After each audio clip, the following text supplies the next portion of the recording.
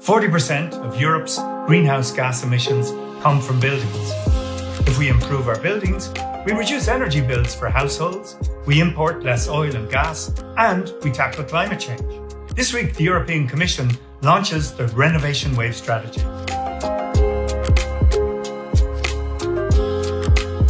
It's a plan to upgrade our buildings and reduce bills and emissions. That's why Europe needs to kickstart the renovation wave. Last month, I wrote a report with other MEPs showing how the renovation wave can benefit everyone. I said let's do three things. One, let's tackle energy poverty. 50 million people in Europe couldn't afford energy bills last year. With COVID, we're spending more time at home, so this number increased. But with more renovations, we'll create healthier homes and reduce energy poverty. Two, let's train people and create new jobs.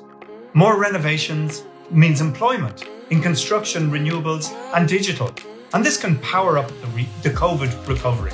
Three, let's reduce emissions. Renovated homes are energy efficient, so less greenhouse gases. What's not to like? Let's meet our climate goals and create jobs. Europe needs to lead on a recovery that works for people and the planet. So let's make the renovation wave a real success.